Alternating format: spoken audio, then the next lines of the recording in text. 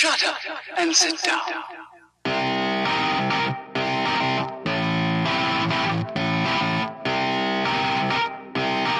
One of the most frequent charges that my clients have experienced before they go into court or when they go into court are domestic violence charges. Domestic violence charges usually arise in a situation where the husband and wife are the only, or the boyfriend and girlfriend are the only witnesses to what happened. There's no one else in the room.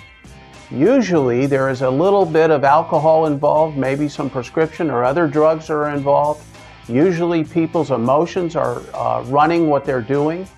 And when they're really, really upset with each other is when the 911 call goes out, sometimes by a neighbor because of the yelling and the, and the uh, noise that's coming out of the house, and sometimes uh, by one of the uh, parties, either the husband or the wife.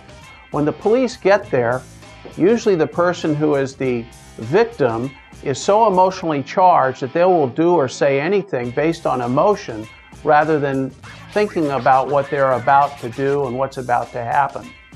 When they do this, they wake up the next day and they wonder, What have I done? Sometimes the charges are, are a matter of two people getting together, getting into an argument. Finally, one gets into the personal space of the other.